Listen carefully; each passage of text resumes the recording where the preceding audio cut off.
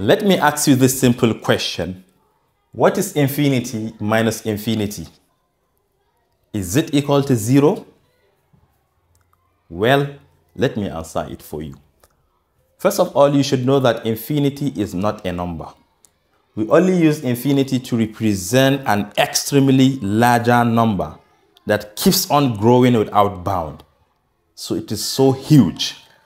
And one thing you should know about infinity is, for example, if you have infinity plus maybe 1000, because this number is extremely huge, this will be infinity.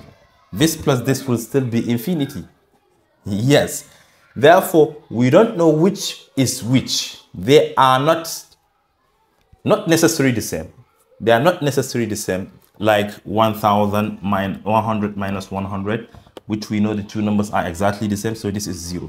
But these are not the same. You can see that by adding 100 to infinity, we still get infinity. So since they are not the same, we cannot conclude.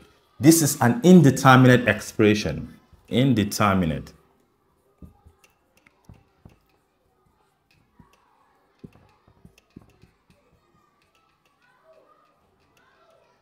Yes, this is an indeterminate expression, not equal to zero, please.